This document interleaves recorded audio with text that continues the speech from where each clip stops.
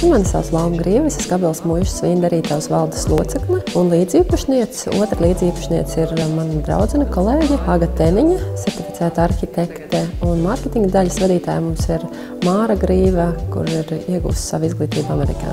Mēs ražojam raudzētos alkoholiskos dzērienus. Šobrīd mūsu klāstā ir seši dzērieni. Šī muiža ir pats tas sākums lielākais, un šeit vēsturiski tieši zem šīs zāles ir apakšā bijis vīnu pagrabs baroniem.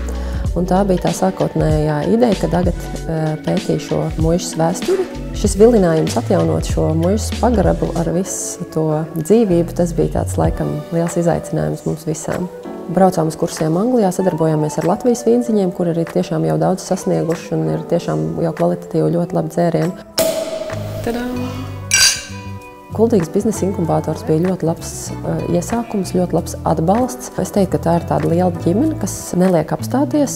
Viņi bija visu laiku dod tādu tā atspērienu punktu. Viņiem ir ļoti labas sistēmas, kas ir šie granti, mentori un uh, dažni dažādi semināri un kursi. Un mēs jūtamies piederīgi šim kultūras biznesa inkubatoram.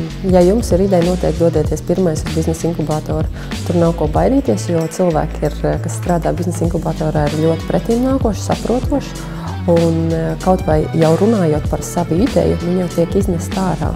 Un jums pašiem palīdz noticēt, ka tas ir iespējams.